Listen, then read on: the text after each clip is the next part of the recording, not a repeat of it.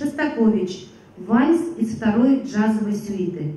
Исполняет ансамбль скрипачей «Первоцвет», руководитель Мансаканян Нелли Сергеевна.